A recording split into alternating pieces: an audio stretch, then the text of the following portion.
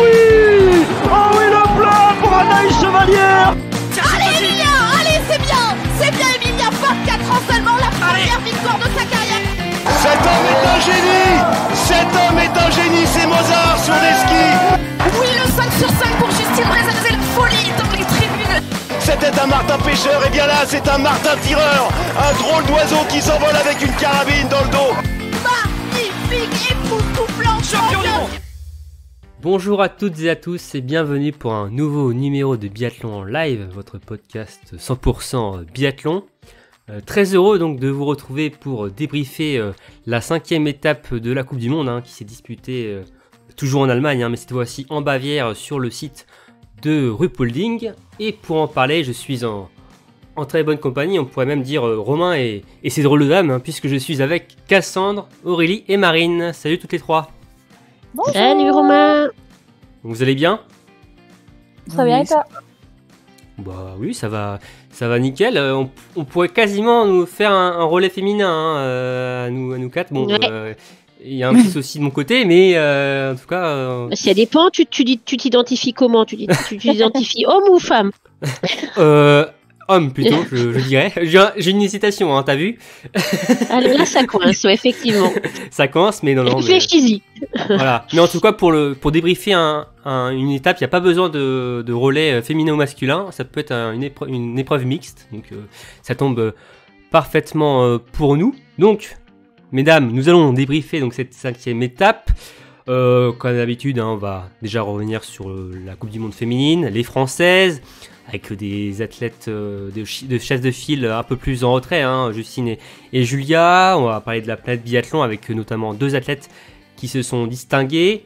Ensuite, on se tournera du côté des hommes hein, et on parlera du biathlon français masculin et notamment de la satisfaction euh, Émilien Jacquelin hein, qui est passé tout près euh, de décrocher un premier podium pour l'équipe de France masculine. La planète biathlon avec une toujours écrasante domination norvégienne. on verra si pour vous Johannes Beu est toujours le grand favori pour remporter le gros globe. Et enfin aussi on terminera par euh, euh, parler de l'IBU Cup hein, qui a eu lieu ce week cette semaine également et on se projettera sur la dernière étape de- du mois de janvier à Antols. Bon, vous êtes prêtes?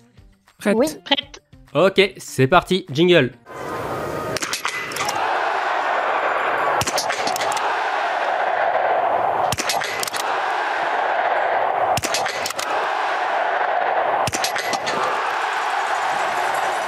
Bien, alors pour commencer, euh, on ne change pas les, les bonnes habitudes, je vais vous demander quelle a été votre course de la semaine de Rupolding.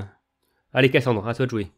bah, Je vais commencer euh, chronologiquement avec euh, le, le relais femmes parce que bon déjà une petite victoire française c'est toujours sympathique. Mhm. Mais en plus je trouve que ça a été un très beau relais parce que ça a extrêmement bien tiré.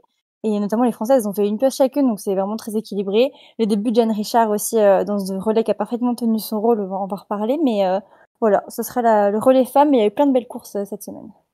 Ok. Toi Aurélie, c'est plus du côté des hommes. C'est la chronologie inversée, c'est la dernière course, c'est la poursuite homme euh, qui était, mais là, là quelle, quelle poursuite euh, euh, Bon, moi je préfère, je le dis à chaque fois, mais je sais que je préfère les, les courses en confrontation directe et incroyable quoi. On savait pas qui allait à, à sortie du dernier tir. Ils étaient combien à espérer monter sur la boîte? Ils étaient une dizaine presque. Non, Bah, même pas neuf monter sur le podium. place. Ouais, ils étaient, ouais, ils étaient neuf. Et ils étaient en groupe. J'ai pas souvenir de courses comme ça si ouvertes avec euh, avec autant de, enfin depuis longtemps quoi, autant de prétendants euh, au podium. euh, sur la fin 5 pour essayer d'attraper la, victoire. Et puis le petit Johannes Dalle qui part en petite flèche là avec des, des, des fusées sur les skis, qui double tout le monde, Vettel, Johannes Beu. Enfin, c'était non, c'était super. Voilà, bref, elle m'a enflammé cette course. Trop le on, le ressent, euh, Aurélie, que tu as Ah apprécié oui, cette, poursuite. C'était tout le biathlon, tout, tout la, beauté du biathlon dans cette course, voilà.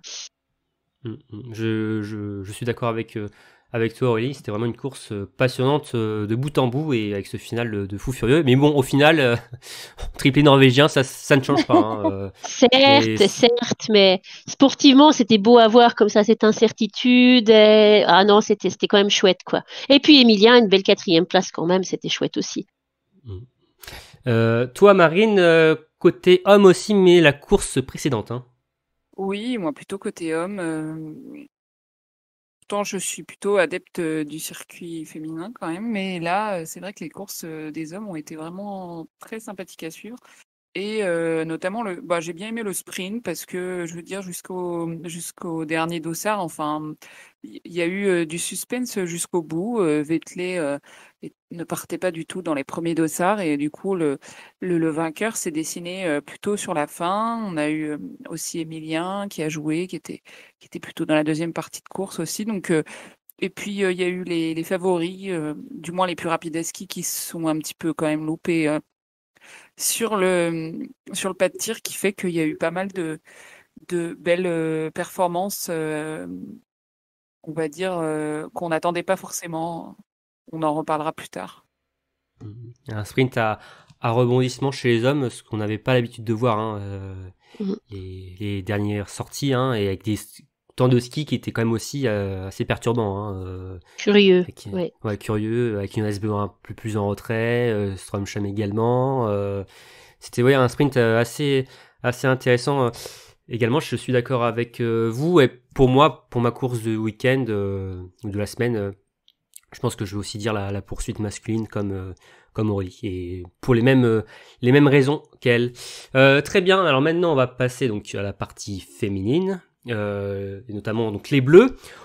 On va prendre dans l'ordre, hein. on va commencer par parler du relais féminin. Hein. Euh, deuxième victoire de suite euh, pour les bleus sur ce format, avec une composition inédite, hein, sans Justine Brézaboucher, avec l'introduction dans le relais de Jeanne Richard. mais bon, ça n'a pas empêché donc les Françaises de remporter cette course. D'ailleurs, c'était le dernier relais, dernier relais féminin avant les mondiaux de, de. Est-ce que vous faites des Françaises les favorites? Pour l'or? Bah, à chaque fois qu'on les a fait favorites, euh, ça, ça, a un peu porté la poisse. Donc, euh, bah, l'année dernière, on les voyait, on les voyait clairement gagner et finalement, euh, ça s'est pas déroulé comme prévu. Donc, l'année d'avant non plus. L'année d'avant non plus. Ah ouais, on et celle d'avant avant auquel bon, pour le mauvais sort. Voilà. Déjà, du coup, pas forcément euh, leur porter leur à la poisse, mais en plus, je trouve que c'est pas forcément euh, les grandes favorites, euh, bah, contrairement à l'année dernière où vraiment, bah, on pouvait quand même s'avancer en disant qu'il y avait de grandes chances de remporter. Bon, ça n'a pas été le cas, mais voilà. Là, cette année, je trouve que bah, elles ont pas gagné tous les relais. Le premier, elles font pas podium, et les deux derniers, elles le gagnent, oui, mais avec pas non plus une avance considérable. Donc, tout peut se jouer très très vite dans un sens comme dans l'autre. Donc, elles ont complètement les armes pour gagner. Là, elles gagnent encore aujourd'hui sans juste une se boucher donc avec une équipe encore remaniée et elles gagnent. Donc bien sûr qu'elles peuvent jouer, mais je les placerai plutôt parmi les favorites que comme les grandes favorites euh, pour, pour le relais des mondiaux. Euh, qui pourrait les justement c'est qui, qui pour vous la plus grande menace des françaises pour l'or? Il y en a trois. Ouais. Ouais, il y en a trois. Euh, il y a l'Allemagne, mais qui manque, je pense, peut-être d'une d'une leader et de quelqu'un de très très fort à ski. Preuss n'est pas la leader euh, qui peut porter ce relais Si, mais elle, est la, leader dans la régularité beaucoup en fait, euh, mais mais il manque, euh, je pense, un, tout petit un tout petit truc à ski quand même quand il y a, y a, un déficit du côté de ses autres coéquipières qui sont de très bonnes tireuses, mais pas forcément des, des filles hyper rapides. Elle n'est pas capable, comme l'était une Denise Arène, de combler le de combler le gap.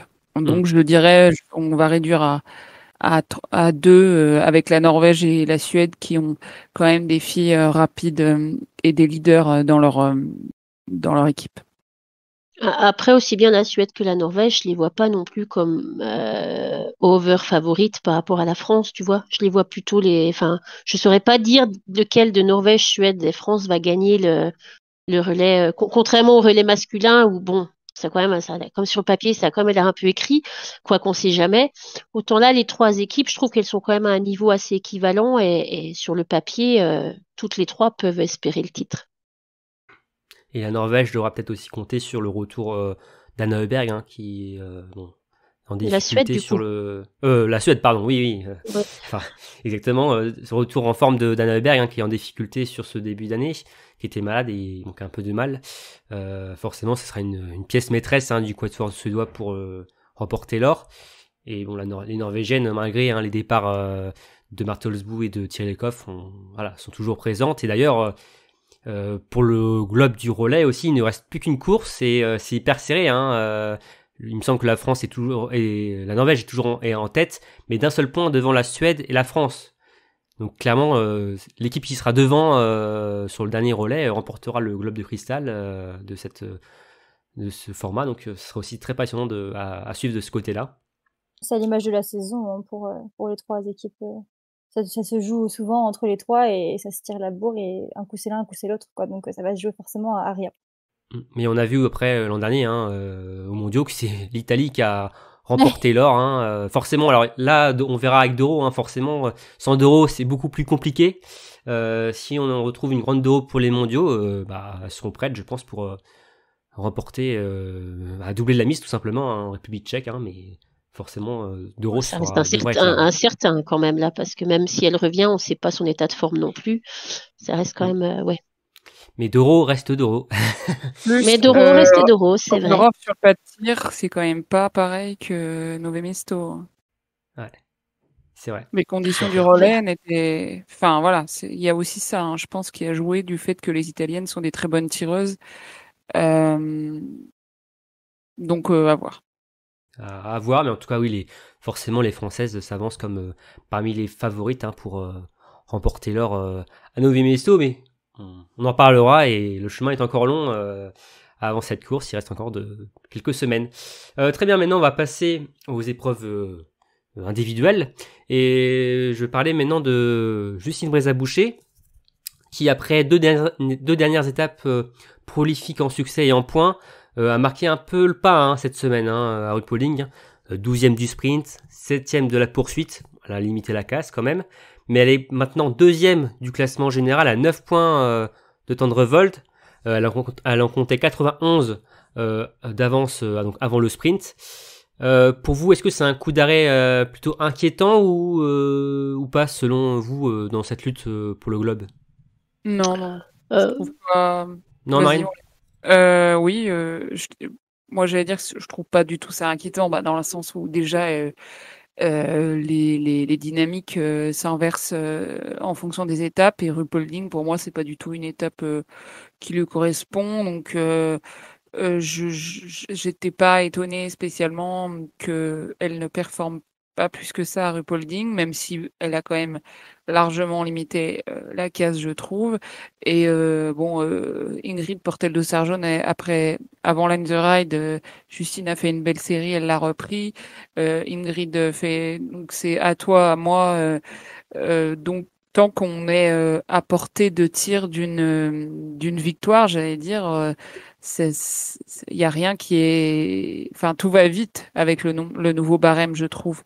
Il suffit d'une méforme, enfin d'une moins bonne étape pour l'une et que l'autre euh, bah, soit tout le temps sur le podium, voire la victoire. Euh, ça, et à, ce niveau-là de la saison, il reste encore quelques courses, les dynamiques euh, peuvent vite s'inverser.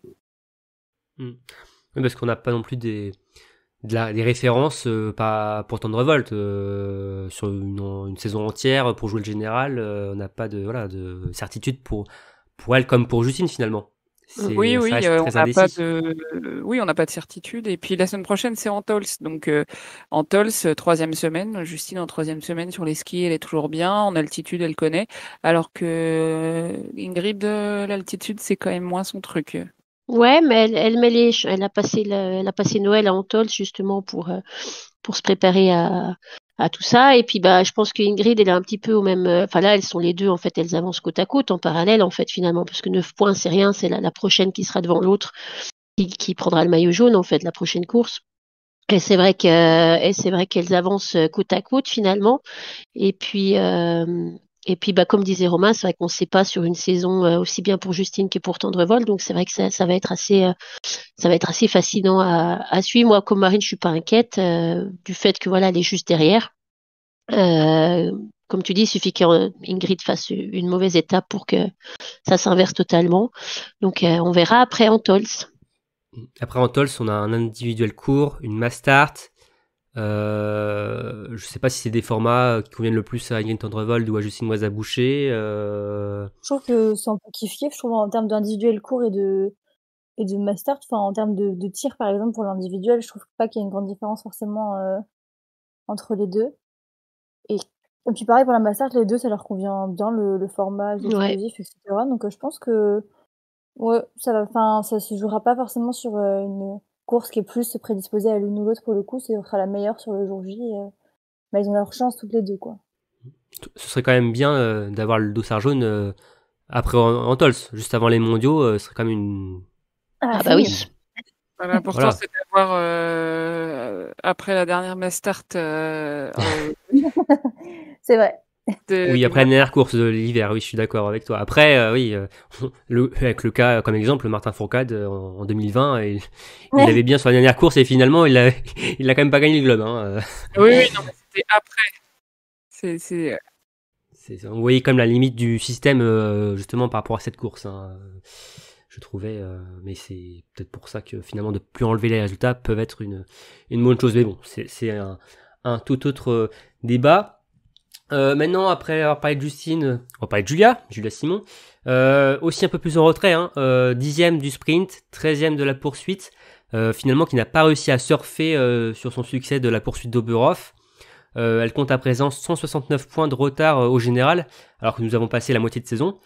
Est-ce que vous croyez toujours aux chances de la Savoyarde pour remporter un deuxième Gros Globe? Alors, moi plus trop. Autant j'y croyais encore le, week-end dernier parce qu'elle me semblait repartie quand même euh, aux affaires euh, avec sa, sa victoire et tout ça. Là, là maintenant, elle me paraît quand même un petit peu loin et, et je suis pas sûre que c'est non plus du coup. Enfin, je suis même pas sûre que c'est son objectif même de saison cette fois-ci qu'elle qu'elle court après ça. Euh, donc non, je pense qu'elle me. Alors à moins de faire une excellente fin de saison là, parfaite quasiment, d'être sur la boîte chaque chaque chaque semaine. Euh, ça me paraît compliqué maintenant. D'ailleurs, donc euh, 12 courses ont été disputées sur 21 qui comptent pour le général. Donc euh, oui, on a passé le cap de la de la mi-saison euh, pour donc cet hiver. Euh, Toi, Cassandre, euh, t'en penses quoi de Julia? T'y crois ou pas euh, encore? Pour le général, euh, non, mais je la, enfin, ça faisait, ça faisait déjà euh, deux trois étapes là où j'avais dit que je la voyais pas forcément gagner, mais après, en, l'occurrence pour les pour les mondiaux, euh, bah carrément, elle a prouvé la semaine dernière qu'elle pouvait gagner et elle a l'expérience d'avoir une première victoire, elle en veut deux, enfin une première, un premier titre sur la poursuite. Après, mais, on, euh, ouais. ouais. Après, on sait que ça va très vite hein, avec ce système de points. euh, C'est vrai. Ah ouais, mais il y a quand même 170 points et bon, ça va très vite, mais là, comme elle est sixième, ça veut dire qu'il faut que les cinq devant perdent des points aussi, quoi. Elle est pas juste troisième ou deuxième, il faut juste que une personne fasse une mauvaise performance. Là, il faut vraiment qu'elle fasse de bonnes performances et que les cinq premières fassent de moins bonnes performances pour qu'elle repasse devant, donc ça me paraît un peu plus compliqué quand même. Julia Simon a dit après la poursuite de RuPauling hein, qu'elle était pas forcément intéressée, en- enfin intéressée, qu'elle visait pas euh, forcément le, glo- le globe de cristal cet hiver.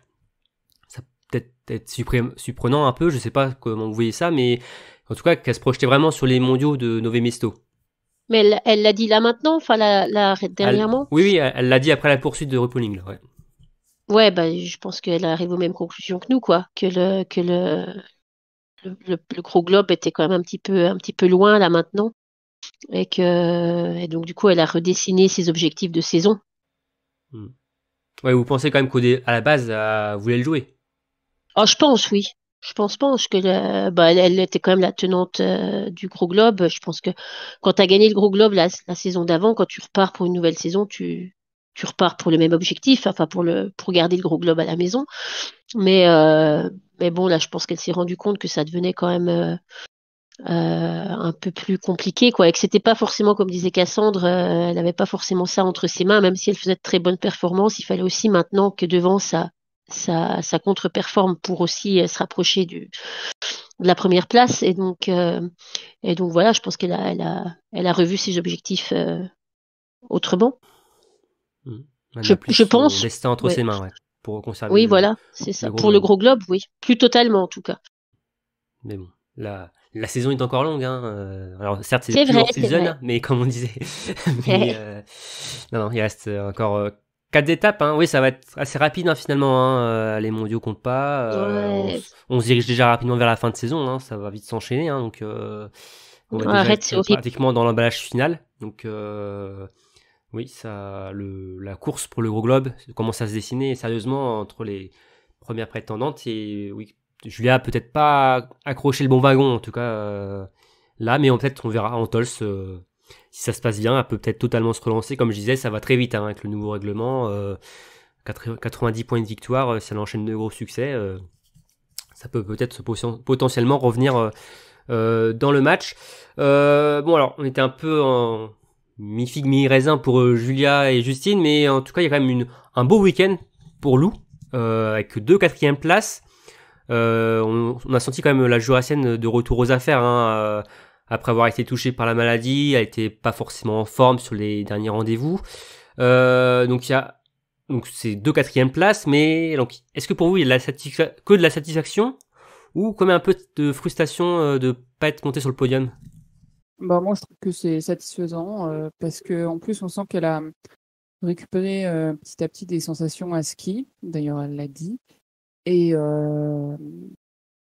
et puis, c'est des, des, cérémonies des fleurs, c'est des places importantes, même quand tu montes pas sur le podium, tu fais les fleurs. C'est bien pour la régularité, pour son Et les peluches aussi. Les peluches, les peluches, très, très important, les peluches. Faire la collection de, de peluches. et, et, du coup, non, je, je, suis très contente enfin, du week-end de Lou qui est très satisfaisant que ce soit au niveau du relais, mais aussi de ses courses individuelles. Elle a fait le job. Juste, euh, il y avait meilleur qu'elle euh, sur ce, sur ce week-end-là, mais, mais quatrième, euh, c'est au pied du podium. Donc, ça n'a rien de honteux, loin de là. Et si elle revient en forme petit à petit et qu'elle est, elle est prête physiquement pour les mondiaux, eh ben, mmh. c'est l'idéal. Après, ce qui peut être frustrant sur le, la poursuite, c'est comme cette balle au coucher où on sait que normalement euh, ça passe dans des conditions plus euh, très bonnes. Euh, nous nous, nous habitue pas à faire une faute pareille quoi. C'est ça qui est un, peut être un peu frustrant quoi. Oui, oui, oui, mais après Marie le dit si bien. Avec des scies, on coupe du bois. oui. Mais elle, elle n'était pas très contente de son week-end, non? Même moi, moi, je suis du même avis que Marine. Hein. Je trouve que c'était un super week-end qu'elle a fait, Lou. Et euh, mais il me semble avoir lu un article sur euh, Biathlon Live, j'imagine, euh, où elle, dit qu'elle était frustrée par contre de son, de son week-end. elle est beaucoup plus exigeante avec elle euh, que nous avec Bien elle. Bien sûr. Ouais. En tout cas, on sent la forme revenir pour, pour Lou qui disait qu'il était quasiment à 100% de, de, donc, de son état physique.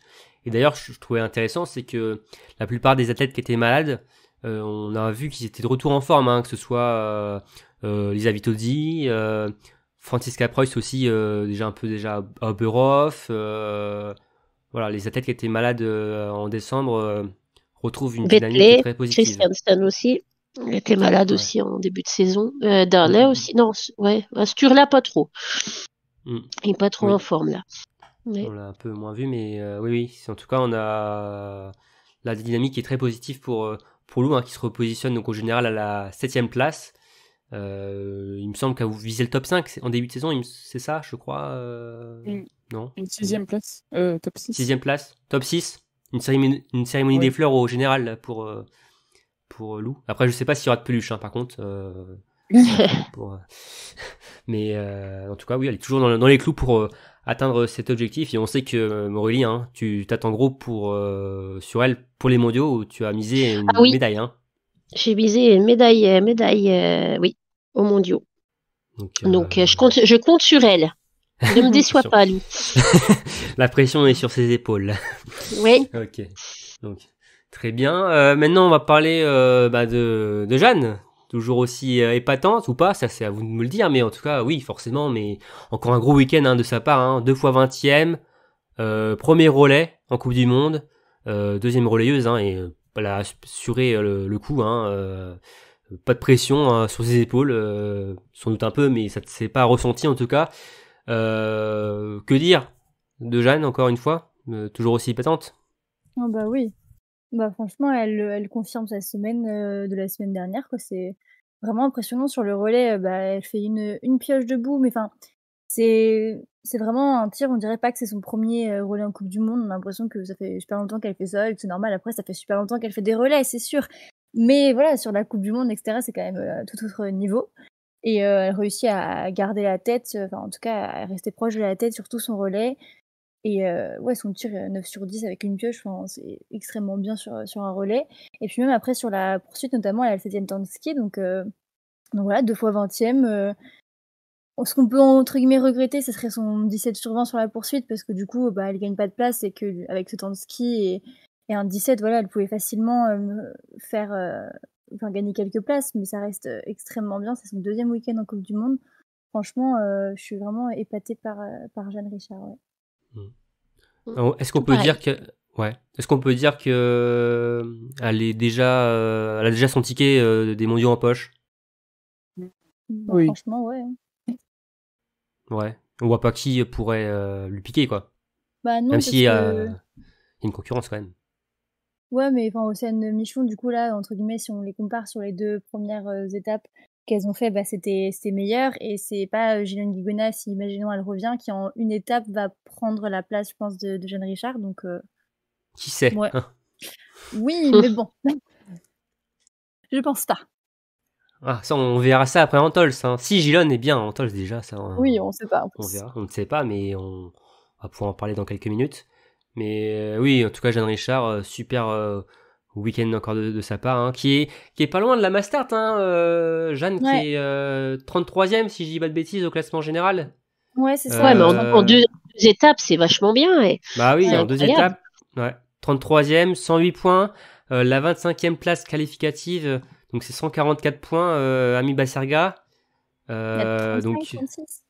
donc ça fait 36 points Mm. d'écart. Après, elle peut toujours Ouais, être puis- dans les 5 meilleurs du week-end. Euh, si ça Exactement, elle comme ça. Ouais. ça peut le faire euh, largement hein, euh, de ce Bah, côté-là aussi. Il y a, qu'une course quoi la semaine prochaine, donc il Oui. faudra vraiment qu'elle perf sur la course parce que de toute façon, que ce soit pour rentrer dans les 25 ou pour faire partie du top 5, il faudra perfer sur les courses pour euh, Mm. faire la masse. Un individuel, Mais- un format qu'elle apprécie. Hein, euh, Ouais. Donc euh, c'est clairement il la. lui suffit, Ouais. il lui suffit d'un top 30 en fait, hein, pour probablement. Pour euh, pour euh, pour finir finalement dans les 5 meilleurs, en admettant que les 25 de la Mastart soient dans le top 30. Mm. Il lui suffit de faire un top 30 et puis euh, et puis. Bah, euh, enfin, tout dé... non, pas forcément parce que si t'as les, par exemple, les 25 meilleurs du général euh, qui finissent euh, dans les dernières places. euh, Oui, c'est vrai, c'est vrai, 30e, c'est non, vrai, mais bon, tu vois. c'est bon. oui, Alors un je- top 20, un top 25, top 20, top 25, et elle a quand même de grandes chances d'être qualifiée du coup. Ou un, un top 1, Euh, un top 1, ça c'est sûr. euh, Bon, un top 1, un top 1. Allez, on Ouais, lui même- souhaite. En vrai, un top 5, c'est sûr que ça réussirait, euh, euh, sa qualification. Mais oui, en tout cas, on va être sur un format qu'elle apprécie, à l'individuel. Donc, euh, elle a toutes euh, les chances de son côté si elle continue sur cette dynamique, mais il n'y a pas de raison. Hein. Pour Jeanne, après, forcément, il y a l'accumu- l'accumulation des courses, trois week-ends de suite en Coupe du Monde. Ça peut peser aussi pour Jeanne qui n'a pas l'habitude d'enchaîner les week-ends comme ça. Hein. Euh, c'est euh, voilà, ça va peser dans la balance aussi euh, au niveau de l'état de fraîcheur de Jeanne euh, d'enchaîner les, les coupes du monde. Donc à voir aussi de ce côté-là. Après c'est aussi Jeanne, c'est une athlète qui adore l'altitude. Ouais, elle aura, ré- elle aurait réussi sa saison de toute façon, Jeanne. Elle a réussi son entrée dans la Coupe du Monde et puis on verra. Oui, mais en tout cas affaire à suivre pour Jeanne, mais qui est toujours aussi épatante. Euh, je voulais aussi vous parler des deux autres françaises qui étaient à Rupolding. Euh, donc un petit mot aussi sur Sophie Chauveau, euh, donc, qui a été plus en difficulté euh, cette fois-ci sur les courses individuelles, mais qui semble avoir quand même chassé pour de bon ses démons sur le relais. Et euh, parler d'Océane Michelon qui a terminé 38e du sprint et 40e de la poursuite. De qui vous voulez parler, Océane? Cassandre, pardon. Et bah justement, je vais parler Voilà. CM. J'ai vendu la mèche. Ah là là, tu caches, enfin tu montres tous les secrets.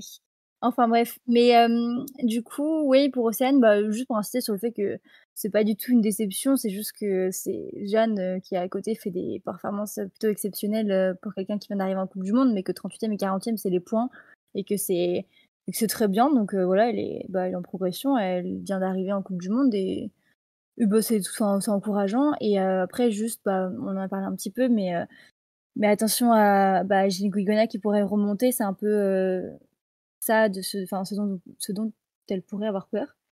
Mais en tout cas, elle fait son petit bonhomme de chemin, donc euh, donc c'est très bien. Voilà. Mais Sophie, attention à Jeanne aussi, parce que euh, finalement, en deux étapes, euh, Jeanne, elle lui a mangé la moitié des points, enfin, elle lui a déjà remonté la moitié des points de Sophie hein, au, général. Donc, sur une sur une saison totale, Jeanne peut peut-être arriver à venir la challenger quand même en termes de de titulaire numéro 4 ou numéro, enfin, à voir quoi. C'est- Ouais, même au-delà du relais, c'est vraiment dans le ouais. euh, Ouais. Sophie a fait un podium cette saison. euh, Ça peut quand même, même si elle n'est pas encore euh, ultra régulière, ça doit quand même peser dans la balance euh, pour, pour les sélections. c'est, pour moi, c'est quand même important. Ça veut dire qu'elle est en capacité de. Sophie, tu veux dire? Oui, Sophie. Oui, oui, Oui, Sophie. bah, mais oui, oui. D'ailleurs, vous pensez que la place de, de Sophie euh, sur le relais des mondiaux peut être en danger par rapport à Jeanne?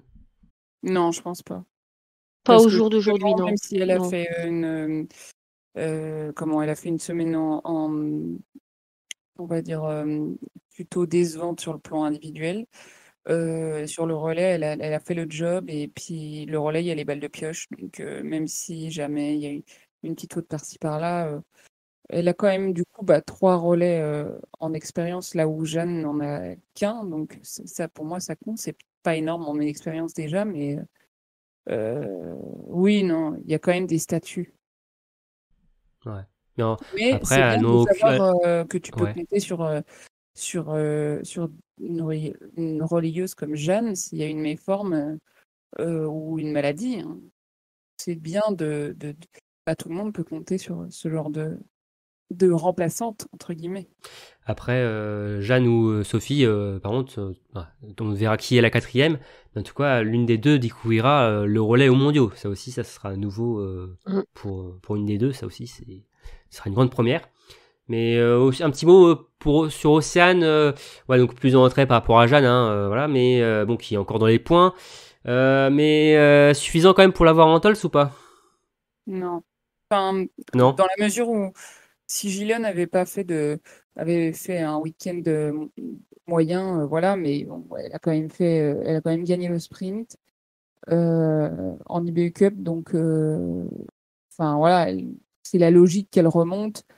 Et Océane, il vaut mieux qu'elle aille courir les championnats d'Europe pour prendre de, l'expérience, jouer devant aux Europes, alors que elle reviendra. Et ce qu'elle a fait, c'est toujours une, une bonne. Enfin, c'est mon opinion, mais après, euh, je suis pas. euh, ce serait difficile de pas justifier que.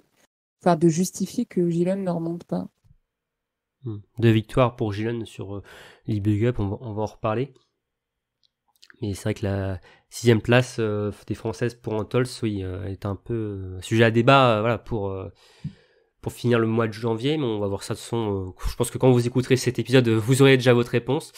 Euh, mais euh, oui, Océane qui a pas fait des mauvaises prestations, mais euh, sont peut-être pas suffisantes pour garder sa place avec la euh, dans le groupe hein, dont on parle depuis des semaines, des mois, même des années, hein, et qui on le voit d'ailleurs hein, tous les week-ends, que ce soit sur tous les circuits, Coupe du Monde, IBU Cup chez les juniors, c'est assez impressionnant et c'est vrai qu'il y a de beaux objectifs, même hors mondiaux, hors Coupe du Monde, notamment les championnats d'Europe à venir dans, dans, quelques jours.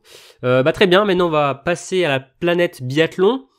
Euh, alors, pour moi, il y a quand même deux biathlètes qui ont marqué les esprits. Euh, donc il y a Ingrid Tendrevold et Lisa Vitozzi, donc la Norvégienne qui a terminé première du sprint et deuxième de la poursuite, nouvelle leader du général, et Lisa Vitozzi troisième du sprint et première de la poursuite hein, au forceps euh, face euh, à justement Tendrevold et Arne Clave. Euh, Vitozzi qu'on semble vraiment retrouver au niveau des, sensations à ski. Euh, question simple ou pas, qui vous a le plus impressionné entre ces deux athlètes? Alors moi les deux, euh, honnêtement. Euh, après, je trouve quand même qu'Ingrid impressionne sur cette, euh, régularité, cette solidité sur cette moitié, un peu plus que moitié de saison. Elle nous avait pas spécialement habitués à ça, et, donc arriver quand même à, rester quand même toujours devant là depuis quelques étapes, bah c'est chouette. Mais moi, du coup, j'ai mis, j'ai mis Lisa, mais après, Ingrid, bien sûr, elle a fait une étape impressionnante. Mais Lisa, euh, c'est vrai que c'est, on- souvent, on la, on la met en retrait à ski, on, et, et là, elle, a- elle a, elle a été très offensive sur le dernier tour de, de, de la poursuite et elle a, elle a battu Ingrid sur un dernier tour. Je pense que c'est quand même euh, à noter. Donc, euh, vraiment, euh, je je l'en pensais pas capable.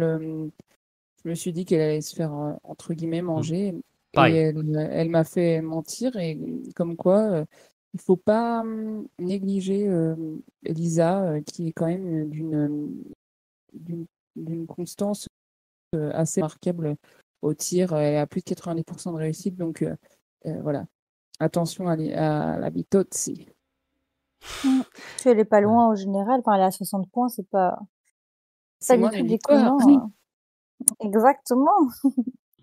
Toi aussi, Cassandre? Lisa Vitozzi Ou- Ouais, bah vraiment euh, pour les pour les mêmes raisons parce qu'avant Noël, j'avais un peu l'impression quand même que bah, c'était un peu euh, peinant à voir de voir qu'elle faisait des 10 sur 10 sur les sprints et que bah ça faisait pas podium ou que ça gagnait pas, c'était un peu euh, bah ouais, peinant parce que d'habitude quand même euh, bah, elle envoie quand même à ski. Enfin, je veux dire oui, on a toujours dit que c'est une bonne tireuse mais elle skie aussi très bien. Et et là du coup voilà, ça faisait plaisir de la revoir bah ouais, un peu déposer Ingrid. Bon, c'est un grand mot mais franchement je m'y euh, je m'y attendais pas non plus comme vous donc euh, ouais je retiendrai euh, Lisa Vitozzi parce que Ingrid elle nous avait un peu déjà montré ça sur cette saison donc voilà T'avais déjà vu ça, donc euh, pff, voilà, t'étais lâché déjà. euh. très bien c'est juste qu'il faut choisir. Oui, toi tu as choisi au moins. Oui, pas, ce n'est pas le cas d'Aurélie qui a, voilà, qui a du mal à, à se décider. Tu as joué le jeu, donc euh, oui, je ne dirai plus rien euh, sur Merci. Cassandre. Euh, non, c'est vrai que oui, Lisa Vitozzi, on n'en parlait pas beaucoup finalement, toujours dans le top 10 placé, mais euh, voilà, me, je crois que j'avais utilisé ce terme-là l'autre fois, menace fantôme un peu, Lisa Vitozzi là, euh, qui euh, était là, mais sans être trop là, et mais là, euh, retour aux avant-postes vraiment de l'italienne et euh. Ça n'a pas dû lui euh, plaire non, quand, euh, oui. quand t'as dit que. mais au moins ça veut Oui. dire qu'elle écoute le, le, le podcast, C'est et c'est vrai. une très bonne chose. Hein, On lui passe euh, Salut, bonjour, Lisa. bravo, bravo pour cette Voilà. belle victoire. Voilà, donc, euh, faut, donc conclusion, faut aussi peut-être être un peu plus dur sur les Français, les Françaises, euh, si, Ouais, euh, allez. pour les motiver. Voilà, donc euh, je vous Allez, attends on fera ça. au tournant pour les, les, les Bleus dans quelques minutes.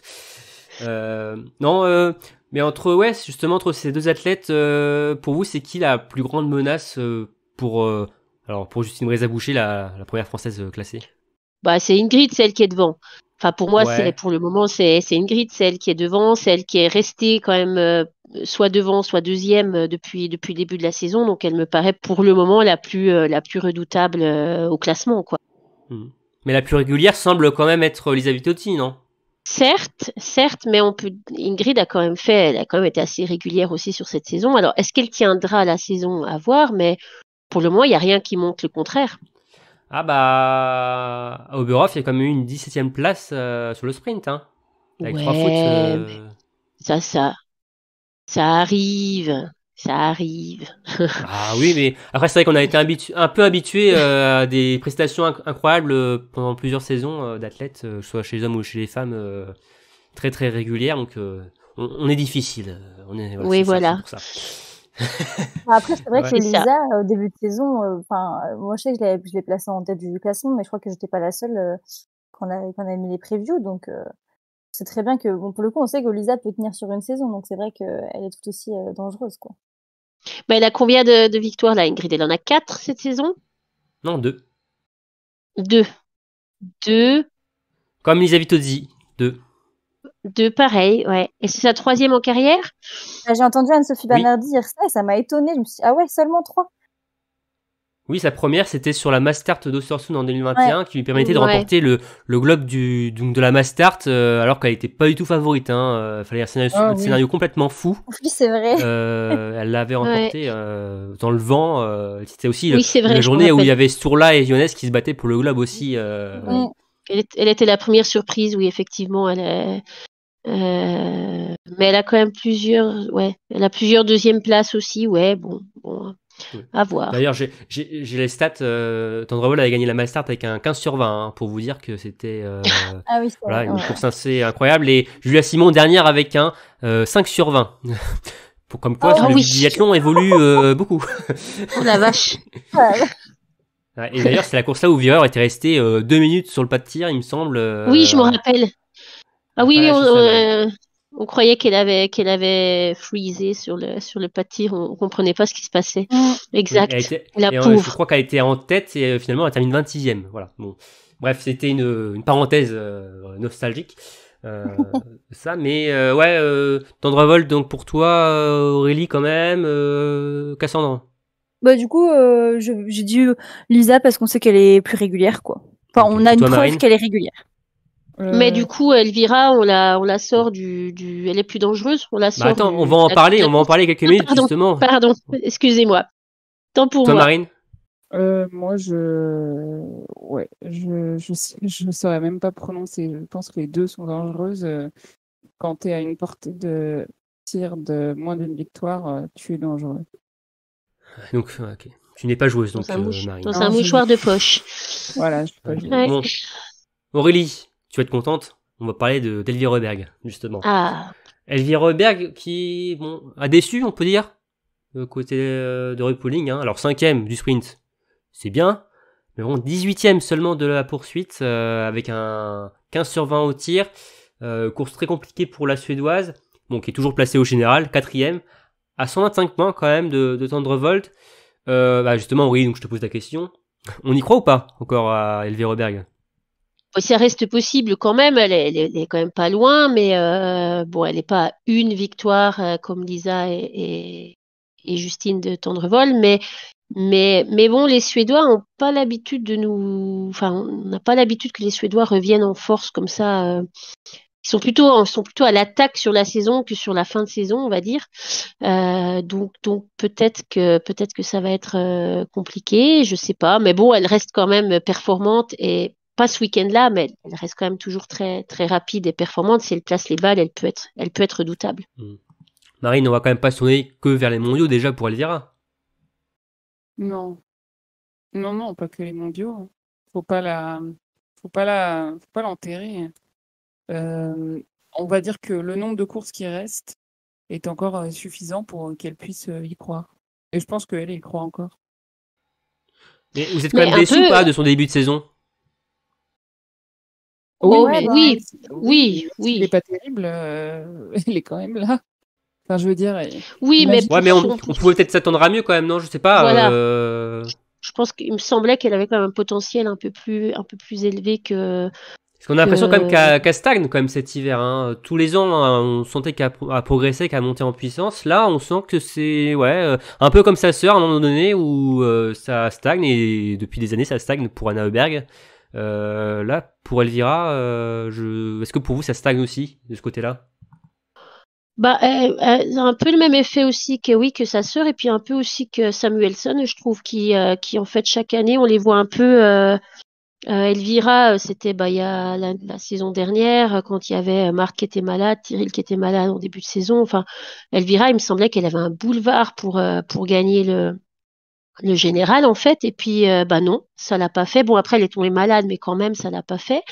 Euh, cette saison il me semblait aussi qu'Elvira avait quand même en tout cas d'être sur le podium du général euh, quand même un énorme potentiel on va dire. Et pour le moment bah ça ça le fait pas non plus un peu comme CB c'est un peu pareil aussi en fait euh, Ah tiens, Peut-être pas que tu parles de CB où- alors qu'on parle des filles. Hein. Ça c'est. non, mais je parle joie, des Suédois, des, des Suédois, euh, des Suédois en général, des Suédois, de l'équipe suédoise en général, en fait, qui, qui a quand même un Oui, gros oui. potentiel de base.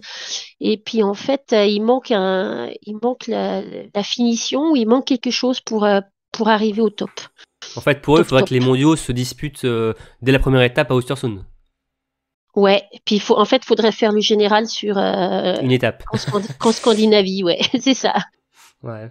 Mais non, ouais, je suis euh, un peu d'accord avec toi. Ouais. C'est vrai que après, oui, bon, 125 points euh, pour Elvira, c'est quand même pas non plus un écart immense. C'est pas loin. Non, c'est pas Euh, loin. ça comme on le disait pour Julia, ça peut vite rebasculer, donc encore plus pour Elvira Berg, qui avait bien performé l'an dernier à Antolz, hein, justement, euh, était revenue sur, sur Julia alors qu'elle elle revenait de maladie, donc on va voir ce qu'elle va faire en, en Italie. Donc, euh, mais c'est vrai que ça va être une étape, euh, enfin, toutes les étapes vont être importantes forcément, là, on va se rapprocher de la fin, mais avant les mondiaux, forcément, voilà, euh, le rapprocher va être aussi déterminant dans le sprint final, et ensuite il va nous mener vers le, le Canada et les États-Unis. Donc, et la Norvège, évidemment, j'oublie pas, Aurélie, t'inquiète pas.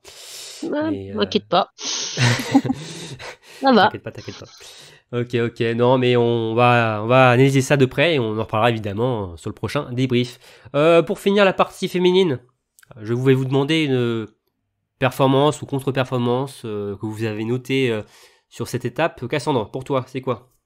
Bah, du coup, je m'éloigne un peu de, la course pure, mais c'est entre guillemets la contre-performance de la réalisation bah, sur le tir de bout d'Ingrid Andrevold qu'on n'a pas vu déjà. Et de manière générale, euh, il y avait quand même plein de, de tirs importants euh, qu'on a qu'on n'a pas vu au profit d'Allemands. Alors c'est super, on est en Allemagne, mais bon, euh, quand il y a les les ceux qui jouent les premières places, bah au moins les mettre en petite fenêtre, je sais pas, mais voilà, j'ai trouvé ça un peu dommage qu'on loupe autant de, de tirs importants. Mmh. En effet. Oui, c'est pas faux. Ça a laissé à désirer la, la transmission pour un site comme Opulding en plus, bon, qui a depuis des années. Et... Niveau transmission, normalement. Euh, la Suisse, on comprend. C'est la première année, Opulding. Oui, tout à fait. Euh, toi, Aurélie euh, moi, la, la, belle seconde place de, on parlait de la Suède, de Mona Brorsson qui, qui, oui, qui monte sur le podium. On l'avait pas forcément vu, vu là euh, sur le sprint. C'est vrai. Euh, on n'avait pas forcément vu arriver. Euh, donc euh, voilà, belle perf. Suédoise. En, à noter. qui est favorable hein, quand même depuis euh, pas mal d'années, qui est pas forcément tout le temps dans les plans, mais finalement qui est toujours là. Euh, et qui, arrive parfois avec des petits coups d'éclat à, monter sur la mm. boîte.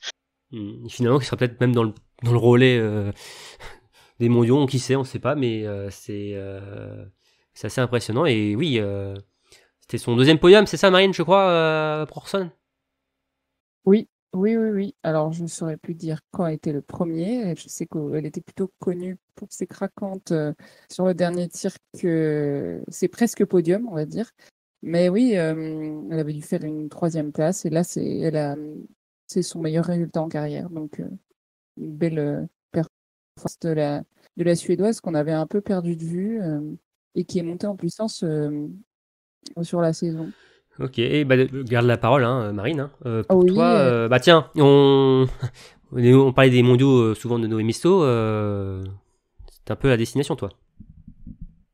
Oui, c'est ça. Alors, j'ai choisi de retenir euh, Lucie euh, Charvatova pour euh, la performance, enfin, surtout la performance sur le sprint, parce qu'elle a fini huitième. Et donc, bon, comme quoi, le RuPauling, c'est un site où même les, les tireuses un peu moins stables peuvent s'en sortir.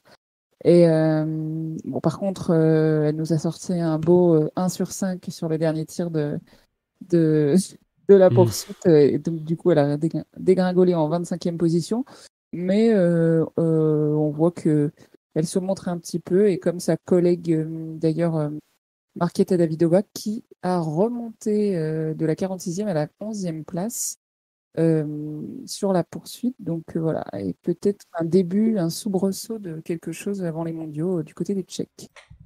Voilà, le timing parfait. Voilà, tout est calculé pour Davidova avant les, les mondiaux. Donc, euh, mais ce serait bien quand même d'avoir une belle équipe tchèque à domicile. Euh, c'est toujours euh, plaisant, même avec l'ambiance du public. on connaît le chaudon à Nové Mesto.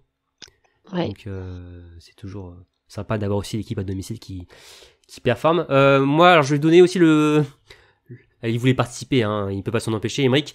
sa performance notable, c'est la Canadienne Benita Pfeiffer. Voilà, Canada, États-Unis, toujours la même chose pour notre cher Emmerich, hein, vous n'êtes pas étonné. Euh, qui a terminé 32e du sprint et 22e euh, de la poursuite. Euh, ce sont ses deux meilleures performances hein, à la canadienne.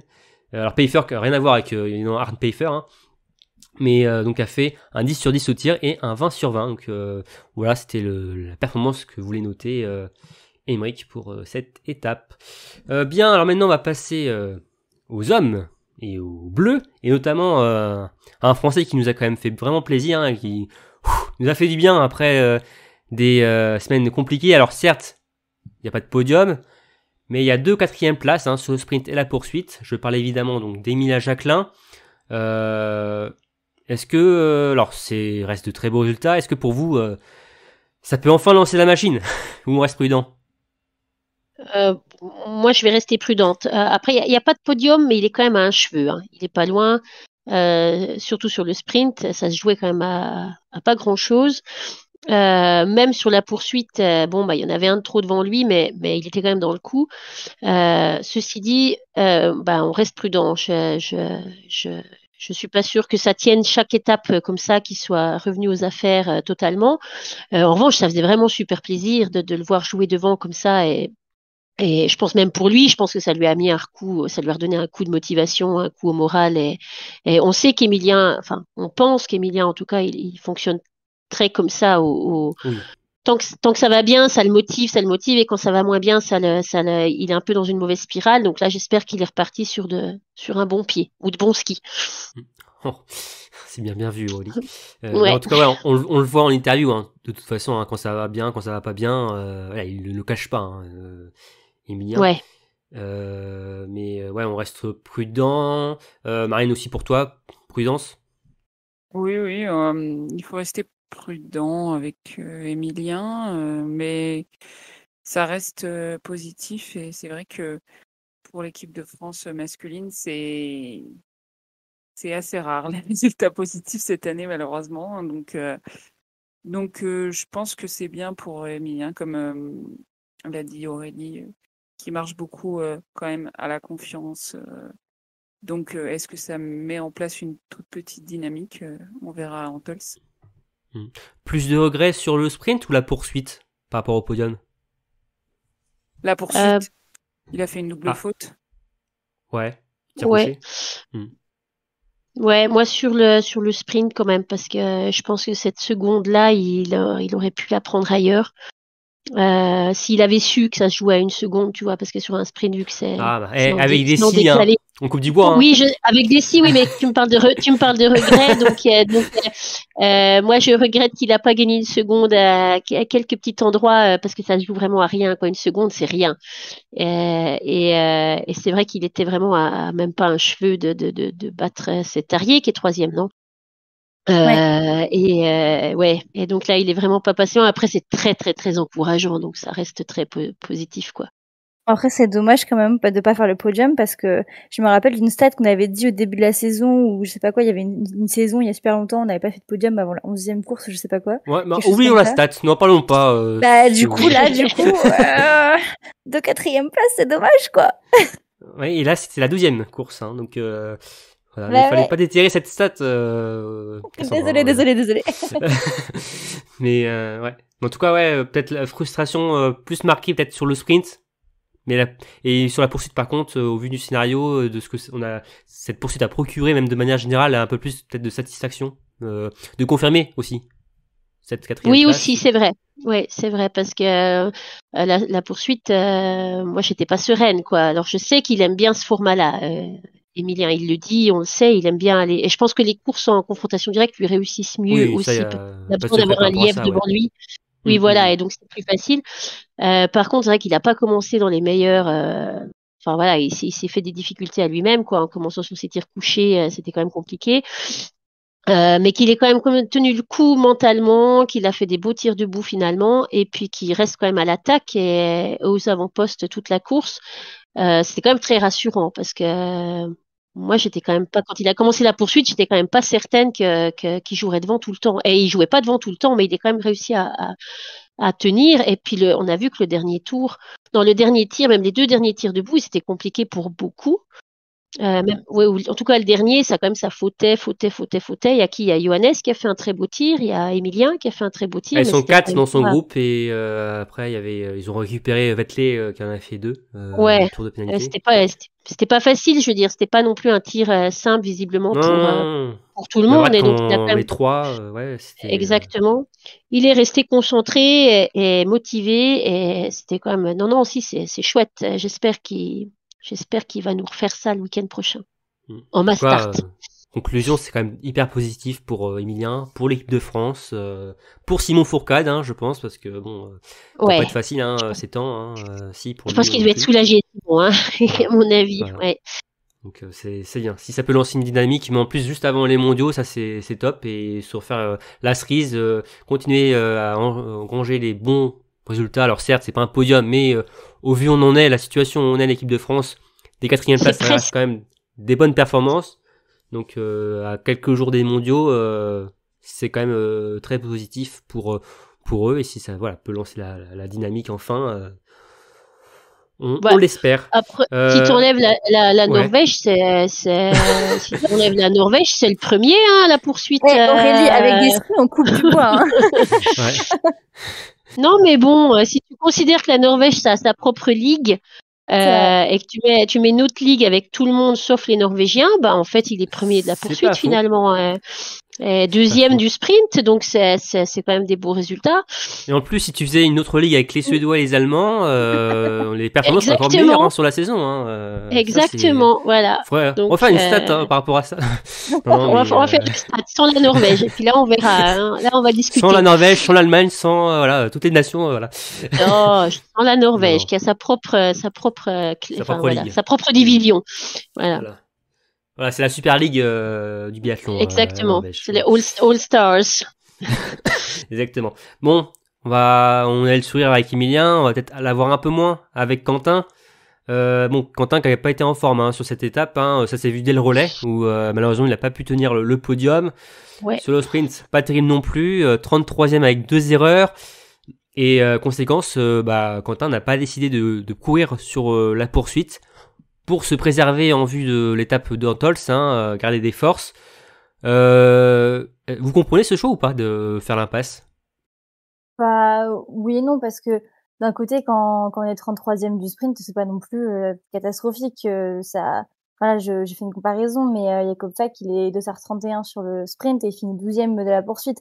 Donc il y a quand même de, de belles remontées à faire. D'autant plus que bon, euh, Valentin Lejeune était 61e, alors euh, en plus il aurait pu prendre la petite place du 60e, tu vois, ça aurait été sympa. Mais bon après, Ça euh, n'est non, pas le pas règlement, comme euh. Pourquoi il l'a pas fait d'ailleurs?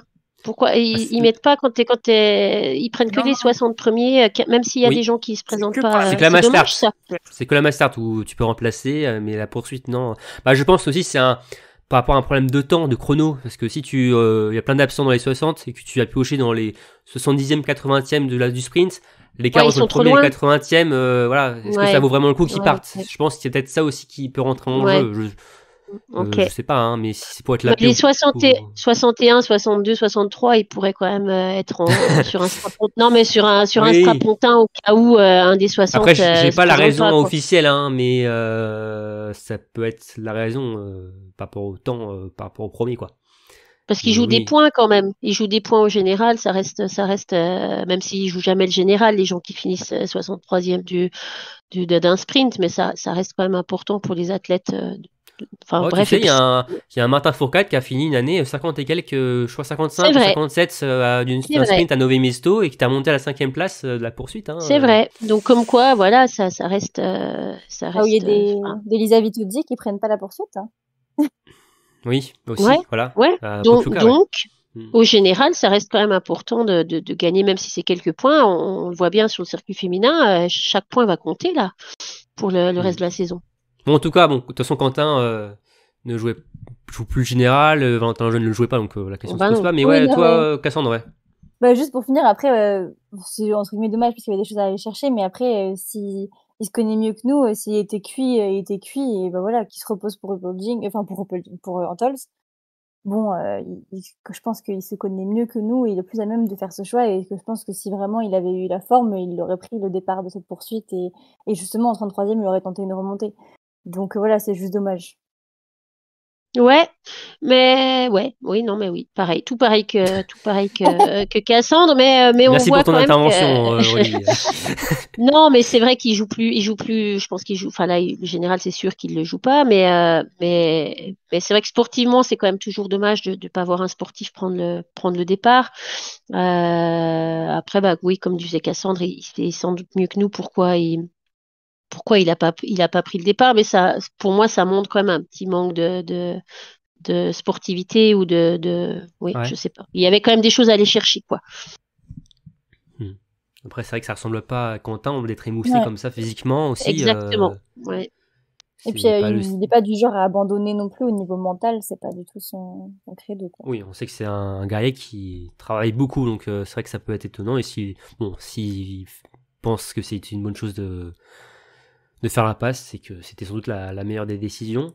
Euh, on va passer maintenant à Eric Perrault. Euh, alors Eric, euh, c'est une 16e place sur le sprint, 9e place sur la poursuite, donc une belle remontée donc sur la course en, confrontation. Mais il n'y a pas quand même un arrière-goût de frustration quand même pour Eric quand on voit sa perf à ski? Non. Enfin, je sais pas, moi je suis pas je- c'est peut-être bizarre ce que je vais dire, mais je, limite, je, trouve que, que c'est vachement rassurant ce qu'il a fait. Euh, parce que c'est, on commence à discerner des, des, des, temps de ski là, depuis deux, trois étapes où on se dit, là, clairement, si les balles rentrent, il n'y a pas besoin de, de méforme ou de que les meilleurs se ratent, etc. Il peut jouer des podiums avec ses temps de ski. Et c'est même le meilleur à ski ce week-end des Français. Donc c'est c'est pour dire la performance quand même. Donc euh, moi je trouve ça je trouve que c'est je peux comprendre que certains et lui en premier trouvent ça frustrant mais d'avoir des temps de ski qui lui permettent de jouer devant euh, c'est euh, une très bonne chose et c'est vraiment positif pour la suite. Il va apprendre justement à gérer ces situations où il aura la possibilité de jouer des choses et, et, bah, des fois, ça va passer, des fois, ça va pas passer, mais justement, ça fait partie de. Parce que autant son podium de la, l'année dernière était un peu une surprise et il, il avait peut-être pas le poids, de la, le poids de la pression sur ses épaules. Et là, il va apprendre à l'avoir petit à petit. Il a, il a, il a appris déjà à l'avoir un peu en relais et maintenant, bah, sur les courses individuelles, mais c'est pas à lui de l'avoir au niveau du statut. Par contre, ça reste que c'est pas le leader de l'équipe, mais il peut faire son petit bonhomme de chemin avec ses, temps de ski qui sont qui sont très très positifs. On sent quand même que cet hiver, il a passé un cap hein, physiquement. Euh, qui peut, comme disait Marine, maintenant lui permettre de jouer devant sans qu'il y ait des grosses craquantes des, des, favoris, quoi. Et après, ouais, Cassandre, quand même une petite frustration quand même toi? Bah forcément. le biathlon, c'est un sport frustrant hein, quand il y a le tir et qu'il n'y a pas les balles. Et voilà, et c'est... Il y a plein d'autres performances, Eric ou pas Eric, euh, quand tu rates euh, la victoire ou le podium à une balle ou à deux balles, bon bah forcément c'est frustrant. Et, euh, et voilà, donc oui, moi je suis, je frustrée, mais pas spécialement parce que c'est Eric Perrault, juste parce que c'est dommage, quoi. C'est un peu comme Emilien, à ça, quoi. Enfin, à ça, bon, à une balle ou deux balles près, mais quand même. Et après, par contre, je trouve que il a, comme je suis tout à fait d'accord avec euh, Marine c'est pas du tout euh, enfin c'est pas du tout inquiétant enfin pas du tout inquiétant mais je veux dire c'est dans sa progression quoi c'est c'est très bien il performe bien à ski tant mieux. Et un jour il, fera les deux et, puis il a toujours une bonne mentalité en interview il est toujours très lucide euh, sur sur ce qu'il a fait il, voit ce qui est bien il voit ce qui est pas bien et il va bosser dessus et voilà. Après j'ai pas trop d'inquiétude sur le fait que à un moment donné les deux vont s'aligner que ça fera une très grosse perte Eric Perrault, hein, je rappelle, 22 ans. Euh, donc, euh, très jeune, hein, et ouais, qui a terminé à 35 secondes hein, euh, sur la poursuite avec trois erreurs. donc, on voit que ça pouvait, à une balle près, enfin, même ça pouvait clairement jouer bien devant. Donc, peu de frustration, mais ça montre tout le potentiel d'Eric. avec une, oui, comme je le disais, une progression assez importante sur les skis cet hiver et ça fait vraiment plaisir. Euh, un mot euh, sur les autres performances des Bleus. Euh, déjà, alors Fabien, 22e du sprint, 23e de la poursuite.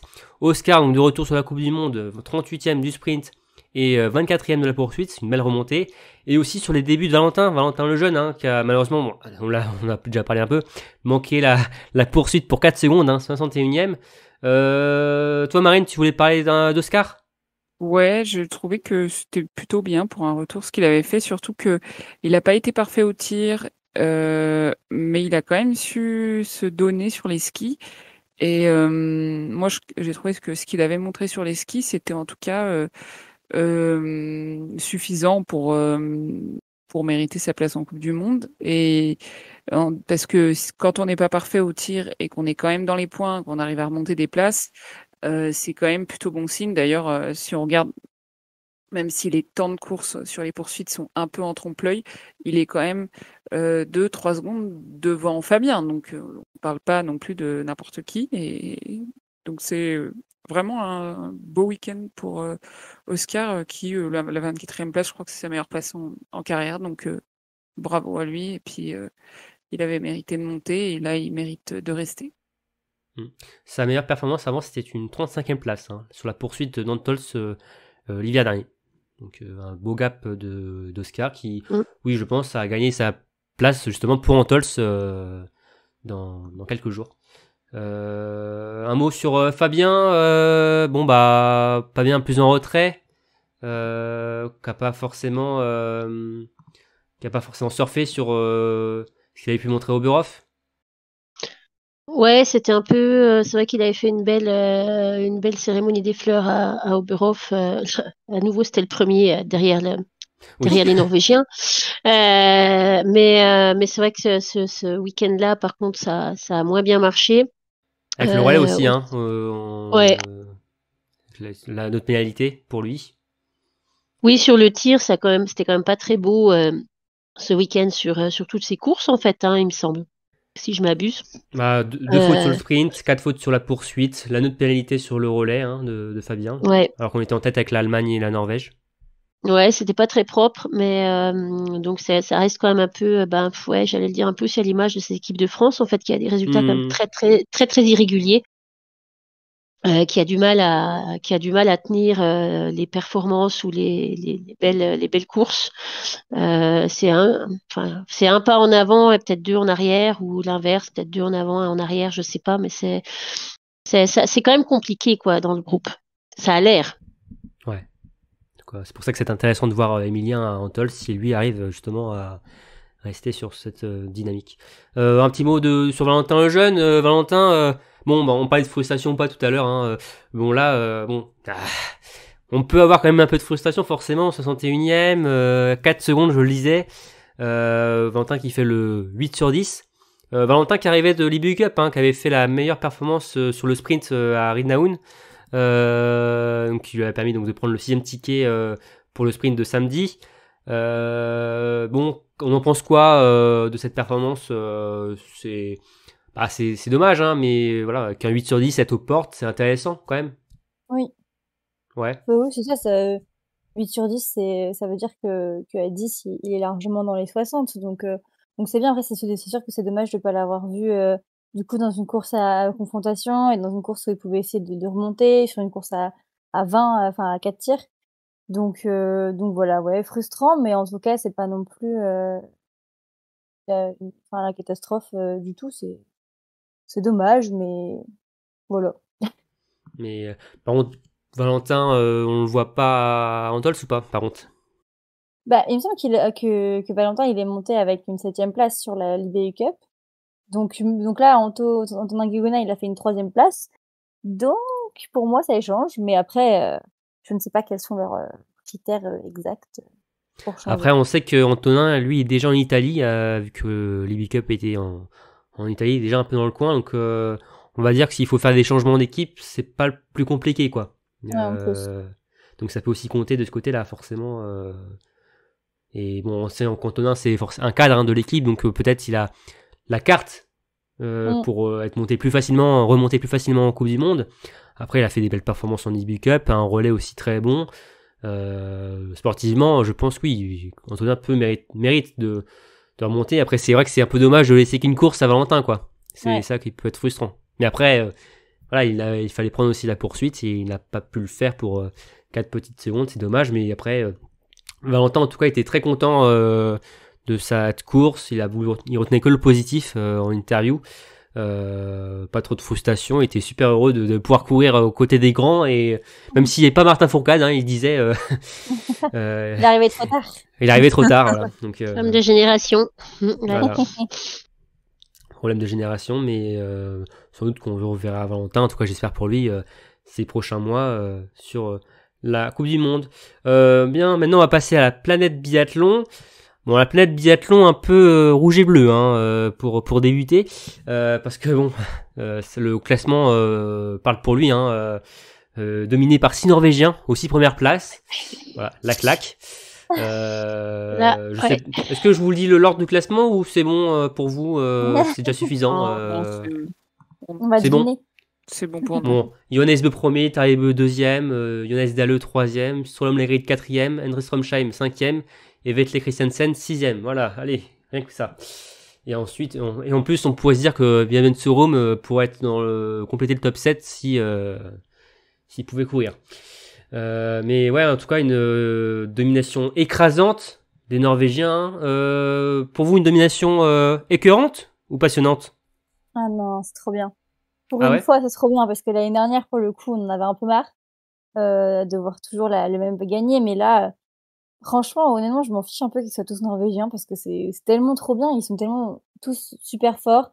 En plus, euh, ils sont tous très sympathiques, enfin charismatiques, sympathiques, tout ce qu'on veut. Mais c'est vraiment euh, bah, génial de les voir, euh, de les voir comme ça, échanger les, les places sur le podium. Franchement, oui, bon, bah, c'est des Norvégiens, c'est comme ça, mais après, chaque athlète est individuel, et à partir du moment où, où ça change et ça se bat comme ça pour la première place et que ça change de, de personne, moi, je trouve ça super. Et puis même, imaginons que ça toujours la même personne, si au moins euh, il y avait plus de batailles, ça qui manquait l'année dernière aussi, c'est que c'est toujours la même personne et en plus, il n'y avait pas de bataille.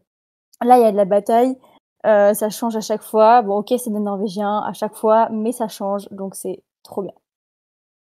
Ouais, moi j'ai le même avis que, Cassandre. Je trouve ça passionnant. Euh, après, c'est pas si on enlève le côté chauvin, de toute façon, on n'a pas de Français derrière. C'est pas comme s'ils prenaient, ils prenaient les places des, des, Français. Enfin, c'est pas comme s'il y avait des Français qui pouvaient euh, éventuellement monter sur le podium. Là, on est loin. On est loin derrière. En, tant- que Français, on n'a plus rien à jouer vraiment au, général. Et moi, je trouve ça totalement passionnant euh, et même fascinant cette lutte interne dans l'équipe. Euh, sportivement, c'est génial, quoi. Surtout que oui, il n'y a pas, comme les dernières saisons, enfin comme l'an dernier justement, un athlète qui surdomine la domination norvégienne. Là, certes, Johannes Bö est quand même en tête, mais euh, il y a quand même du suspense euh, en début de course. quoi. On ne sait pas qui va remporter le sprint, la poursuite. euh, Et à la lutte interne, c'est ça aussi qui rend le truc... Il y a la guerre ouais. dans la guerre Mm. avec la lutte, et donc il y a la lutte interne dans l'équipe, et puis tu as en plus la lutte fratricide entre les deux frères Beu. Ça aussi, je trouve ça génial. Euh, et d'avoir un Tarier comme, comme voilà, qui est, qui, est, qui est là depuis si longtemps, et puis qui du coup vient challenger son petit frère. euh, non, non, pour moi, moi, je trouve ça passionnant. Vraiment. Hmm. Marine, pour toi aussi, tu trouves ça passionnant ou pas? Oui, ou- je vais pas reprendre les arguments de, de mes collègues, je suis tout à fait d'accord. euh, je, je mets le, tout à fait le, le chauvinisme de côté pour dire que bah au moins il y a du suspense euh, sur toutes les places du podium et même si des fois c'est les Norvégiens, là c'est beaucoup les Norvégiens, mais il y a, il y a pas que les Norvégiens et surtout c'est pas toujours le même qui gagne. Il y a, hum, merci Johannes d'être un petit peu moins bon à ski pour nous laisser nous, de nouveau Oui, parce que je, je regardais, euh, donc euh, ma start de Lanzerheide, Johannes Bö, sprint d'Oberhof, euh, donc euh, Benedikt Doll devant Sturlam Legrid, la poursuite d'Oberhof, euh, Endre Stromsheim, le sprint euh, de Rupolding, Vetle Christensen, et la poursuite donc de Rupolding, euh, Jonas Dalle. Donc euh, ça Il alterne. n'y a que ça. qui n'a pas gagné, en fait. C'est le seul qui n'a pas, qui a pas gagné Mais de ce course. tour-là, lui, c'est la deuxième place qui l'intéresse. Ouais, Euh, ouais. Oh. Attention, il va, il va redescendre en IBU Cup hein, bientôt. Ah ouais, et pas de victoire. Eh ben non, c'est le tarif en Norvège. hein. Ouais. oui, c'est il peut peut-être s'inquiéter oui, euh, sur la mérite. Mais euh, non, non, mais euh, oui, c'est en tout cas assez passionnant, je trouve, cette lutte euh, interne, et même si, oui, il y a que le, un- une grosse nation qui domine, qui surdomine tout le monde, mais en, en soi, je, voilà, je, je trouve que c'est pas une domination euh, écœurante. Je suis d'accord euh, avec vous. Mm. J'imagine que ça doit être génial d'être dans l'équipe en ce moment entre les six là, ils doivent se, ils doivent se tirer la bourre. euh, Ça doit être Ouais. fantastique d'être dans une équipe pareille quoi, et de, Mm. et de, et de se challenger comme ça à chaque course. Euh, pour le coup, je pense que ouais, ça doit être, ça doit- pour le coup, il y a une vraie émulsion. On, on en parlait la semaine dernière. Euh, là, pour le coup, et je pense qu'il y a vraiment un challenge à être celui des six qui va, qui va gagner la course ou qui va, qui va être devant l'autre quoi. Euh, on pourra- pour parler du premier au général, donc Johannes Bö, donc toujours leader, mais voilà, sans être impressionnant, hein, comme on le disait, euh, donc 9 du sprint, 3 de la poursuite. Bon, le Norvégien a quand même été un peu malade apparemment hein, sur le, le début de semaine, même si c'était pas trop grave a priori. Euh, bon, vous en faites toujours le favori ou pas pour euh, remporter le globe? Bah oui, Oui. parce que sinon, euh, Oui, pareil. C'est pour moi c'est le favori. Par contre, je trouve ça génial qu'il soit qu'il soit challengé et puis euh, même euh, même remis à sa place par euh, par euh, par certains des enfin je vais pas dire des petits nouveaux parce que Dalle ça fait un petit moment qu'il est là déjà, mais ça reste quand même un un, un jeune dans l'équipe par rapport à Johannes. Et puis qu'il soit remis à sa place par son grand frère aussi. Donc euh, donc euh, non non si ça ça, ça reste le favori, ça reste- il a le maillot jaune, il reste devant, euh, mais, mais c'est chouette que, que ce soit pas gagné d'avance. Bah d'ailleurs, en- entre tous ces Norvégiens, pour vous, c'est qui euh, la plus grande menace euh, pour oula. le Hmm, Sans Bah. À ski, ça me paraît d'aller quand même, qui me paraît quand même euh, Ouais, mais très à très ski, rapide. oui, mais en biathlon. Euh, Ouais, non, mais biathlon. oui, mais bon. Euh, après, bon, il y a son frère aussi, mais euh, moi, je dirais peut-être même euh, Johannes Dahle, en fait. Pas Ah ouais sûr là, pour une fois. Euh, euh, ouais. Ou j'aurais peut-être même dit, ouais, maintenant c'est peut-être c'est compliqué parce qu'il a raté une étape, mais euh, Christiansen me paraît aussi très fort quand même. S'il a raté son début de saison, il me paraît quand même euh, costaud. Ah, Christensen Euh, est quand même à plus de 200 points hein, de Johannes Oui, voilà, il a, euh, il a perdu, il a perdu des points parce que parce que bah, il a mal entamé et puis et puis il a raté euh, Oberhof, mais euh, mais euh, ouais, peut-être dans l'heure en fait, euh, je sais pas, ou Tarier. Alors, ce Ouais, moi, serait beau de voir Tarier. Euh, ouais, ce serait chouette de le voir gagner le, le général euh, des années après le premier, quoi. Peut-être que ça va remotiver Martin Fourcade à revenir, non Si Tarier gagne. Eh ben ouais, c'est vrai, c'est la même les JO 2030 au Grand Bornand, c'est ça, quand il aura 46 ans. Voilà, exactement. Écoute, Voilà. Mais euh, ouais, donc euh, plus Dalleux pour toi. Euh, Marine, toi, c'est euh, Dalleux ou euh, Mais J'ai mis Tarier. Enfin, je dis Tarier, ouais. Tarier qui, oui, qui a combien de points de, de Johannes? Qui a ouais, 80 points environ. Donc euh, c'est assez ouais, puis t'as Dalle mais- juste, juste derrière, il est 4 points derrière, Dalle. Oui. 4 points derrière Tarier. C'est Mm. c'est kiff-kiff, hein. Mm. Donc euh, oui, c'est vrai que c'est passionnant hein, quand même, même si on sent euh, Johannes Bö qui semble quand même maîtriser la situation, euh, même si c'est pas parfait, mais avec toujours une longueur d'avance par rapport à, à ses compatriotes, mais toujours en, en tête du général, mais c'est loin d'être fait en- encore pour euh, pour lui. Il doit pas être serein, serein quand même au niveau du général. Hein. Il est pas, il est pas fait. hein. Mm. Il est pas Tout déjà fait, dans la fait. poche. Et Mm. juste un mot encore pour les, sur les Norvégiens. Forcément, je voulais revenir sur Christiansen. Son retour fracassant. Euh, lui qui était écarté euh, du groupe pour Oberhof, on l'a dit. Ah bah là, il pouvait pas mieux répondre à sa fédération. hein. Voilà, c'est un exemple typique de l'orgueil du champion, quoi. C'est, c'est, voilà, on m'a, on m'a rétrogradé. On a vu qu'il était vexé, hein. Il l'a dit, il le dit, il était fâché même. Euh, je pense qu'il est revenu en mode, bah, je vais leur montrer, quoi. Et puis, bah, ça l'a fait. Bah, D'ailleurs, moi j'ai titré euh, Quand on l'attaque, euh, Christiansen contre-attaque. Voilà. Euh, je pense que ça convenait pas mal. Ouais. Mais euh, ouais, euh, réponse de, de champion, euh, plus sur le format du sprint. Je sais pas si c'est forcément le format où on attend le plus Christensen.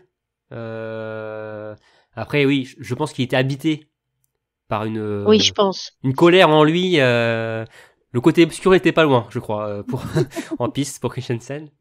Après, il l'a dit, hein, qu'il a fait un blackout total de la course. En fait, euh, il était, euh, il était, ouais, je sais, oui, comme tu dis, il était habité, je pense. Il était possédé, possédé par euh, l'esprit de la victoire. Hmm. Par contre, on a vu sur la poursuite, euh, les tirs debout, c'était compliqué. Hein. Euh, Fébrile, euh, euh, défensif. Le- les- il peut se craquer sur des debout, euh, des fois même en, en relais, euh, les derniers relayeurs. Moi, je le trouve pas si impérial que ça. Il y a des fois, il peut, il peut bien se craquer. J'étais pas étonnée qu'il soit un peu fébrile sur les debout. Après, généralement, en relais, il a déjà plus d'une minute d'avance, donc euh, bon, et, euh, Oui, voilà. Il peut être fébrile. Il, il peut être fébrile. Ça se voit moins, on va dire, quand il est fébrile. Mais en tout cas, ouais, c'était un, un beau retour au premier plan de, de Christiansen qui, euh, je pense, on peut dire, a gagné sa place euh, dans le groupe norvégien. euh, pour, Moi, euh, J'espère pour lui, parce pour que sinon, je sais pas ce qu'il faut qu'il prouve de plus. hein. oui, oui, ça reste, ça le sixième, hein. Ça reste. euh, Ah bah oui, mais si tu lui reste le rajoutes 100 début, hein. d'un coup, il est devant. Euh, très bien. Alors maintenant, on va partir. On va rester en Scandinavie, hein, la Suède. Euh, on pense quoi des performances des Suédois? Évidemment, je parle de Ponsiluma et de Samuelsson. Hein. Donc Ponsiluma 25e du sprint, 8e euh, de la poursuite. Ponsiluma qui a fait un 1 sur 5, c'est ça, au coucher euh, sur le sprint? Ouais. Ouais, c'est assez indescriptible. euh, Enfin, c'est quand même assez rare de. Les doubles fautes en biathlon, ça peut arriver. euh, les triples, c'est commencent déjà à être beaucoup plus rares. Alors les les les craquages, les craquages à Vitozzi, À la ça, Ouais. Ou à la fac. à la à la fac. Ah oui, c'est vrai, lui, c'était- bon, on a passé un cap. Bah, c'était oui, euh, vraiment dommage euh, vis-à-vis du niveau de ce qu'ils ont affiché, mais euh, bon, quand on est fort sur les skis, même si bah là, de toute façon, le général, c'est oublié, c'est enterré, on peut quand même performer à toutes les courses. Donc, ben voilà, ils n'ont pas été exceptionnels, mais ils étaient là sur les skis et ils seront encore là sur les skis, sûrement aux mondiaux, peut-être moins à l'Orez la semaine prochaine en altitude, mais ouais, décevant, mais, mais on sait que ça peut, ça peut perfer sur la suite de la saison quand même. Quoi. Mmh, ouais, 8ème du général. Euh, Samuelson 11ème. Alors Samuelson, j'avais pas dit ses résultats, je crois. 26e euh, et 13e. Euh, bon, finalement, ils ont un peu des résultats équivalents, tous les deux. où ça, son niveau du tir, où ça pêchait. Bah oui, bah, de toute façon, je crois qu'on l'avait déjà dit, mais maintenant, de toute façon, c'est va être mondiaux. Il hein, n'y a pas le choix pour, ces deux athlètes-là. Hein, où Samuelson, on sait qu'il a tout perdu avec son forfait à Lenzerheide, mais bon, on voit que même là, les Norvégiens sont une, deux, trois, quatre têtes au-dessus de la masse euh, du reste du peloton, donc il euh, n'y a peut-être pas forcément de regrets pour, pour ces bœufs euh, par rapport au cristal. Non, je pense pas, et je pense que, bah, comme on en parlait tout à l'heure pour Julia, après pour Julia, je sais pas, mais je pense qu'il a très vite revu ses plans de, saison aussi. après, ça reste encore, on en parlait aussi pour les filles, ça reste un peu typiquement des Suédois en milieu de saison aussi, où ils rejoignent, un peu le ventre mou du classement pas au général, mais en tout cas euh, dans les courses où euh, ils ont ils ont un creux quand même euh, souvent. Après, peut-être que maintenant, voilà, aussi bien Ponzi que CB, ils prennent un peu les courses qui viennent pour des des échauffements, des entraînements en vue des mondiaux. J'espère pour eux. donc on verra, mais c'était pas c'était pas enfin c'était pas foufou quoi. Cassandre, une petite attaque gratuite sur Samuelson ou pas? Non, non, mais c'est juste que je suis pas surprise, c'est tout. voilà. C'est suffisant. euh, maintenant, on va parler euh, d'un athlète euh, qui, qui, a fait plaisir à voir et même qui s'est voilà, faufilé entre les Norvégiens, les Allemands les Suédois. Je parle de Tommaso Giacomel, euh, l'Italien, euh, deuxième du sprint.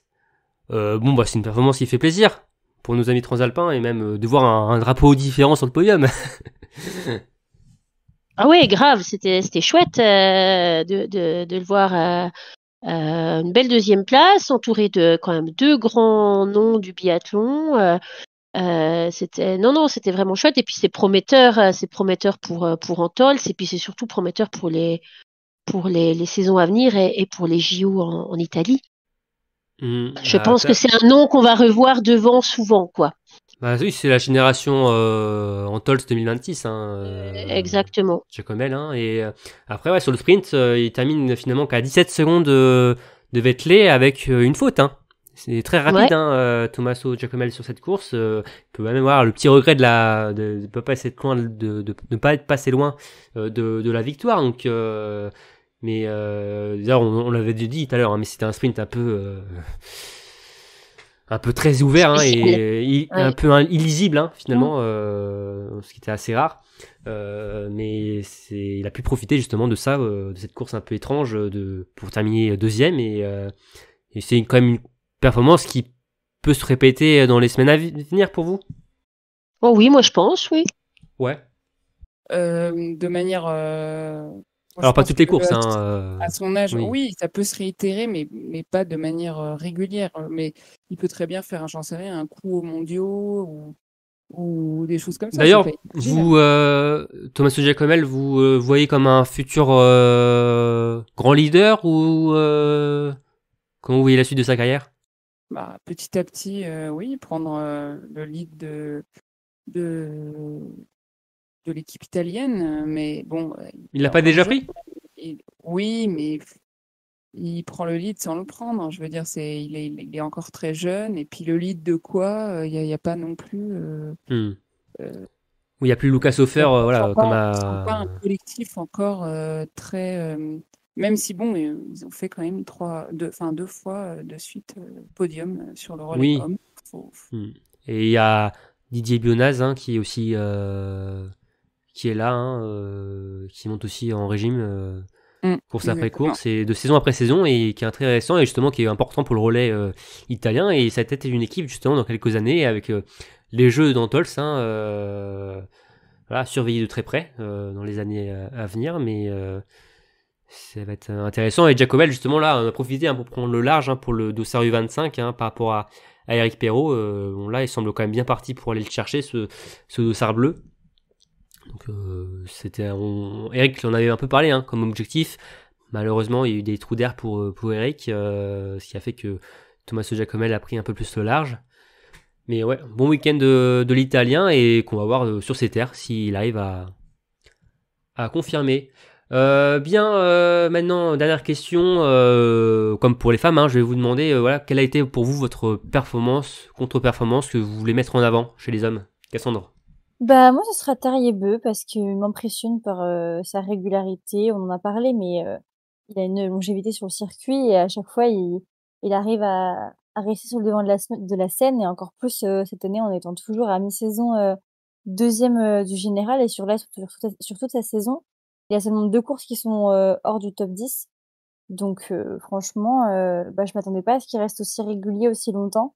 Donc ouais, ça me donne des espoirs presque pour la fin de saison quoi. Hmm. Euh, Aurélie, toi, euh, côté Norvège aussi. Moi, je vais côté Norvège pour euh, parler de Strømsheim qui, euh, qui bon, a fait un week-end un petit peu tout pourri quand même si tu enlèves le, le relais. Pour un Norvégien, oui, hein, oui, en effet, ouais. Oui, mais mais il euh, il euh, oui, enfin oui, il a fait oui, il a fait quand même beaucoup de beaucoup de, enfin par rapport le week-end dernier où il quand même il faisait de, il faisait une première et une troisième place, je crois. Enfin, il faisait deux podiums et et là ce week-end. euh, il a fait beaucoup de fautes et je crois qu'il n'était pas, me- j'ai pas vu les temps de ski, mais il me semble avoir entendu Emmerich Ouais, dire qu'il était plus en loin, retrait, ouais. loin, ouais, Mm. loin derrière, alors qu'il était, il jouait devant euh, la semaine dernière. Donc je sais pas ce qui, ce qui s'est passé pour lui, s'il aime pas Rupolding ou si, s'il est pas en forme ou quoi que ce soit. Mais je pense que lui, par contre, il est pas content de son week-end. Le moins bon des Norvégiens ce, ce week-end, mais je ne pense pas que sa place soit. Il a Ouais. dû passer de l'euphorie de la, de l'euphorie de la première victoire. Après, euh, la- le week-end d'après, ça, Ouais, ça confirme la- la pas du tout pour le coup. Mm, mm, mm. Bon, après, il reste, ouais, un Et peu la claque, voilà. Encore une étape pour se mettre dans le, dans le droit chemin avant euh, les mondiaux. S'il est sélectionné, mais je pense que. Enfin, après, avec les qu- quotas, tout ça, le règlement, peut-être que la Norvège pourra être assise. On en reparlera hein, pour le, le preview des, des mondiaux. Euh, toi, Marine, alors je crois que tu as piqué le. Oui, Ce que voilà, dire, Émeric. appliqué, mais je, je, on a un peu le, c'est celui que je voulais ressortir et je sais que Emeric sera d'accord avec moi. Ah, C'est. Campbell Wright, qui est donc fini euh, 12e euh, du sprint et 17e de la poursuite, donc qui était euh, néo-zélandais jusqu'à la saison dernière et qui passé sous pavillon américain, qui a fait un début de saison assez timide, notamment sur les skis. Euh, donc c'est pour ça que je suis très surprise et très heureuse de le voir performer euh, sur, euh, sur cette semaine et aller chercher ses meilleurs résultats en carrière. Donc voilà, j'espère que c'est le début de la lancée de Clon Campbell. Hmm, Toujours sympa d'avoir de voir des drapeaux un peu plus exotiques aux avant-postes. Hein, même si ça fait bizarre de dire exotique pour un drapeau, le drapeau des États-Unis. Euh, mais oui, en biathlon, c'est En c'est nordique, exotique. euh, Hein. ouais. Voilà, en nordique, En nordique, c'est quand même, euh, ouais, c'est quand même si un peu. Même si on sait qu'au au, au fond, il y a Jessie Diggins euh, qui, est, euh, qui est performante. Hein, mais mais c'est vrai qu'en biathlon, oui. Euh, depuis euh, Lowey Bailey, euh, Susan Dunkley, euh, voilà, c'est c'est pas non plus un, le collectif euh, norvégien. On en est loin. donc, euh. Donc euh, voilà, mais oui, c'est vrai que je suis d'accord avec toi, euh, Marine. Je suis d'accord avec Emmerich. Emmerich, je suis, si tu nous écoutes, euh, c'est un bon choix. Très bien. Maintenant, on ferme la page Coupe du Monde pour évoquer la page IBU Cup. Marine, tu vas nous dire un peu les, tous les résultats qu'il y a eu, et notamment les, performances françaises. Alors, au niveau des Cup, donc, le sprint féminin a donc été remporté par Gilon Guigona. Donc voilà, un beau retour sur euh, cette euh, étape d'IBU Cup euh, pour Gilon euh, qui va sûrement peut-être remonter. On verra pour ça la sélection Coupe du Monde. On a eu euh, Valentin, donc qui a fini septième du sprint homme, qui lui a valu sa première sélection en Coupe du Monde. Antonin lui avait fini 28e, c'était plus compliqué sur le début de semaine. On avait euh, cinq Norvégiens dans la cérémonie des fleurs comme d'habitude. Aussi en IBU Cup. Et oui, ils sont de partout, c'est là- c'est hallucinant. Après, on a eu une Master 60 avec euh, un podium euh, allemands, donc Johanna Pouf, Puff, Pouf, je sais pas comment ça se prononce, Célina Grossian en deuxième et Idalien euh, en troisième et Gilon avait fini septième. Ouais, D'ailleurs, grosse performance de Johanna Pouf hein, euh, sur la Mastart. euh, bah, les conditions pas faciles, à nous sur le 20 sur 20, euh, très très impressionnant. Exactement. Et du côté des hommes, on a eu donc aussi un Allemand qui s'est imposé, Ries Müller, Müller, oh là là, vous m'excusez mon accent. On a eu Martin Nevland en deuxième et Antonin a fini troisième de cette Mastart. Et donc, euh, bah, comme d'habitude, euh, cinq Norvégiens euh, dans les neuf premiers. Ça, Ah, ça pas dans les 6 là. Ça, c'est moins bien. C'est presque mauvais. Et C'est le début de la fin. après, on a eu donc un, un relais mixte euh, avec la Norvège qui imposée, l'Allemagne euh, qui, qui a fini deuxième et la France troisième euh, qui a réussi à se hisser sur le podium grâce à un dernier bon, très bon relais d'Antonin puisque Anaël malheureusement avait tourné deux fois sur l'anneau de pénalité. Mais ça fait quand même un podium au final. Et nous avons eu le, le single mixte euh, donc qui a été remporté encore une fois par la Norvège. Et nous avons eu Camille Benet et Théo Giropoyo qui ont fini deuxième. Et la Finlande, un beau podium finlandais, en troisième. Donc euh, voilà, quelques podiums cette euh, semaine en IBU Cup. Donc Mm. on retrouvera les, les athlètes d'IBU Cup euh, au championnat d'Europe du 24 au 28 janvier à Bresno-Horsbly. Et donc, Magnifique site. un site magnifiquement moche, euh, où euh, Kuzmina sera euh, au départ euh, des courses, euh, la grande Kuzmina euh, qui fera euh, Le retour. son retour. Oui. Oui, c'est euh, la, la sensation, en tout cas, euh, Anastasia Kuzmina qui va être de retour à la compétition. euh, donc ça va être à surveiller de près. Et d'ailleurs, donc il n'y a pas de DB Cup cette semaine. Hein, euh, Voilà, exactement. Mais un beau un- programme de, Mm. de Coupe du Monde pour se, pour se concentrer euh, juste sur les courses de Coupe du Monde. Ça, c'est bien aussi, de pas trop avoir à jongler. Voilà, c'est entre tous les écrans, c'est fatigant. hein, euh, les- nos pauvres yeux euh, sont fatigués en fin de semaine. Mais en tout cas, après, ça, ça va s'enchaîner avec les championnats d'Europe, les championnats du monde et, et les championnats du monde jeunes et juniors aussi. euh, Cette, euh, la folie, cette, euh, cette fin de saison. Et euh, avant de parler de la fin de saison, Cassandre, on va déjà finir le mois de janvier. euh, côté Coupe du Monde, et donc cette semaine, Et ben, direction d'Italie. Exactement. Je ne suis pas sûre qu'on dit ça en italien, mais c'est pas Ouais, grave. Et même l'accent est pas terrible, je crois. donc on, on va rester en bon français. Voilà, je vous donne rendez-vous le 18 janvier à 14h20 pour espérer avoir le premier euh, podium des Français, peut-être sur euh, l'individuel court euh, masculin. Et puis le lendemain, le 19 euh, janvier à 13h40, on aura l'individuel court des femmes. Alors on va espérer que Jeanne Richard puisse intégrer la Mastart qui aura lieu en fin de semaine. Ensuite, le 20 janvier, midi 55, le euh, relais mixte simple. Et puis, toujours le même jour, 14h45, le relais mixte. Ensuite, euh, on se donne rendez-vous le 21 janvier à 12h30 pour la Mastart masculine pour savoir qui de Johannes Beu, Tarier Beu, Johannes Dalle, Leigrid, Stromsheim ou Christiansen va gagner. Et ensuite, le... Hey. et ensuite, le 21 janvier toujours, à 14h45 cette fois pour la Mastart dame. Et là, tu la dis pas Julia Ju- Simon, Justine Breza. Breza, Lou Jean Monod, Sophie Chauveau. euh, Non. Je vais pas la porter la poisse. Ouais. La Norvège, bon, ça me dérange Ah. moins. ok. D'ailleurs, euh, vous l'avez entendu, hein, 13h40, l'individuel cours d'âme euh, vendredi. Normalement, il devait être à 14h20, mais il y a les obsèques de Franz euh, Beckenbauer euh, euh, ce même jour, et donc l'IBU a décidé de décaler euh, plus tôt euh, cette course pour parce que les télé allemandes donc va diffuser les obsèques et le bon, on voit que le- l'Allemagne a euh, du poids. Même. euh, voilà. Oui. Il faut faire plaisir à l'Allemagne. Mm. Les retransmissions TV. Ouais. Bon bah très bien, je crois qu'on a fait le, le tour, hein, euh, Cassandre, Aurélie et Marine. Écoute, J'ai l'impression. On a fait le tour de, euh, de la question. Hein. euh, Je crois que ça a été euh, bien complet. euh, donc merci à toutes les trois de m'avoir accompagné donc euh, sur euh, ce débrief donc de Repolding. Merci à toi. Ouais bah merci, merci à vous. Merci à tous de nous avoir écoutés. Comme d'habitude, n'hésitez pas à liker, à partager notre contenu, à aussi commenter hein, euh, si vous voulez répondre à des débats, si vous êtes d'accord ou pas d'accord euh, avec Aurélie, Cassandre ou Marine. Euh, et comme d'habitude, je vous dis à très vite pour un nouveau numéro de Biathlon live. Salut tout le monde Ciao, ciao. Ciao